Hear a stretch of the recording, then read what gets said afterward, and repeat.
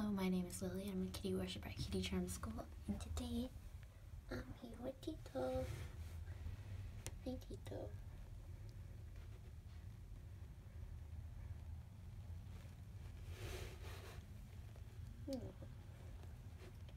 You're a sweet kitty? Just a little shy, but that's it.